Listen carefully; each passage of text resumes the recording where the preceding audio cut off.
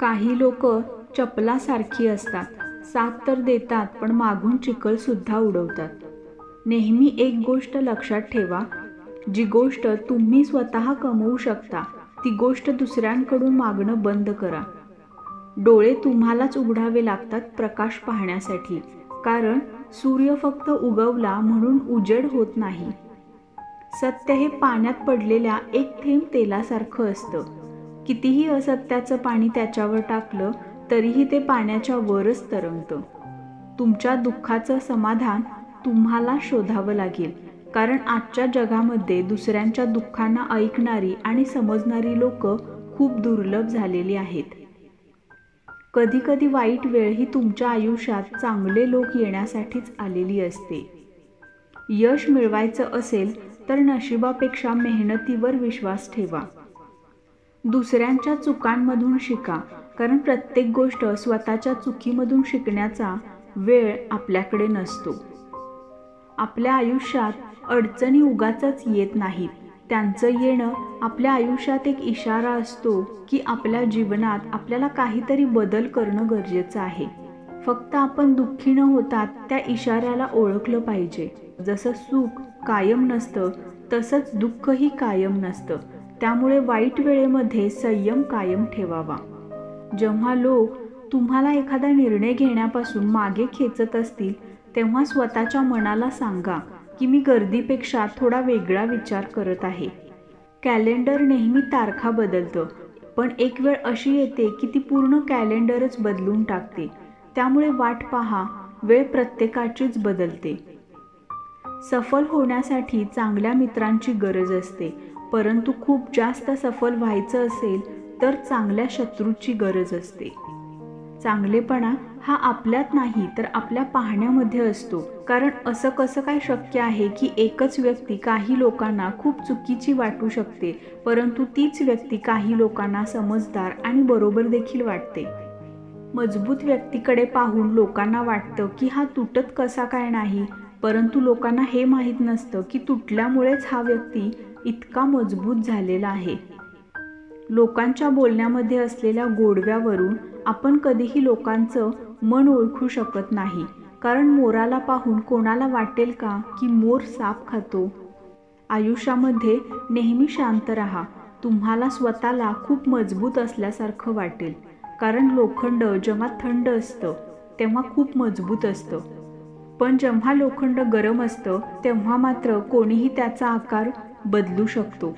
त्यामुळेच जेव्हा राग येईल तेव्हा शांत राहा. कधीकधी आपण चुकीचे नसतोच परंतु त्यावेळेस आपल्याजवळ ते शब्द नसतात जे आपण बरोबर असल्याचा पुरावा देतात.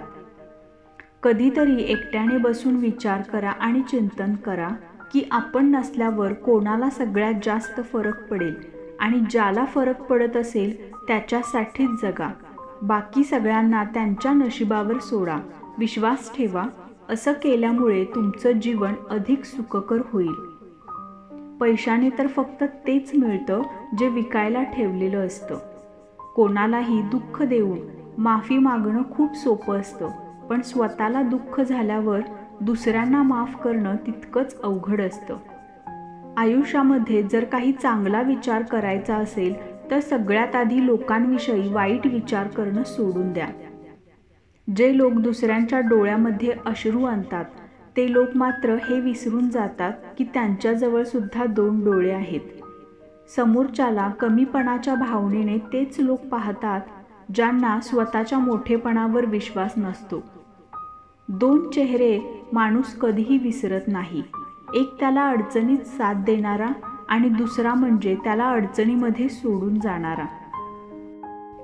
जर तुम्हाला मेहनत करूनही सफलता मिळत नसेल तर रस्ते बदला सिद्धांत नाही कारण झाड पण पानं बदलतं मूळ नाही. सापाच्या दातामध्ये विंचूच्या डंक मारण्यामध्ये आणि माणसाच्या मनामध्ये किती विष आहे हे सांगणं खूप अवघड असतं. पुढे जाणाऱ्या व्यक्ती कधीही कोणाच्याच मार्गामध्ये अडथळे आणत नाहीत आणि जो दुसऱ्यांच्या मार्गामध्ये अडथळे आणतो तो कधीच पुढे जाऊ शकत नाही. आयुष्याच्या पुस्तकात जेव्हा वाईट वेळ वाईट घटनांनी भरलेली पानं येतात तेव्हा पुस्तक बंद न करता पान पलटून नवीन प्रकरणाला सुरुवात करावी. जी माणसं अजूनही तुमची परीक्षा तुमच्या भूतकाळावरून करत आहेत त्यांना तुमच्या भविष्यामध्ये अजिबात जागा देऊ नका. लोकांचा फार जास्त विचार करूच नका. कारण ज्यांच्याकडे काहीच नाही त्यांच्यावर लोक हसतात आणि ज्याच्याकडे सगळं काही आहे त्याच्यावर जळतात. जेव्हा तुमच्यासोबत कोणीही नसतं तेव्हा फक्त एकच गोष्ट लक्षात ठेवा की आयुष्यातील काही कठीण प्रवास तुम्हाला एकट्यालाच करावे लागणार आहेत. स्वतःला असं बनवा की जरी तुम्हाला कोणी हर्ट केलं तरीसुद्धा तुम्हाला काहीच फरक पडला नाही पाहिजे. आयुष्यामध्ये कधीही कोणासमोर स्वतःचं स्पष्टीकरण देत बसू नका. कारण ज्यांना तुमच्यावर विश्वास आहे त्यांना स्पष्टीकरणाची अजिबातच गरज नसते. आणि अशक्य असं या जगामध्ये काहीच नाही. फक्त त्यासाठी तुमच्यामध्ये जबरदस्त इच्छाशक्ती हवी. तर आशा करते तुम्हाला आजचा व्हिडिओ आवडला असेल. तुम्हाला कोणता विचार आवडला कमेंटमध्ये नक्की कळवा आणि चॅनलला सबस्क्राईब करायला विसरू नका.